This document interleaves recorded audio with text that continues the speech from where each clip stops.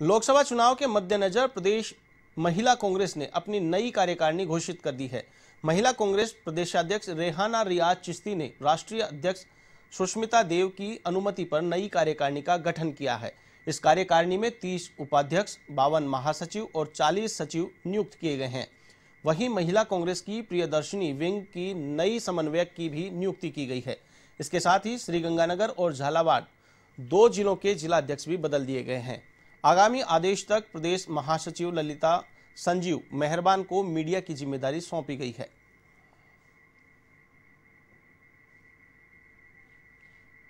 देश और दुनिया की हर छोटी बड़ी खबर के लिए सब्सक्राइब करें एवन टीवी न्यूज़ साथ ही बेल आइकन को प्रेस करें ताकि आप पा सकें ताज़ा खबरों की नोटिफिकेशन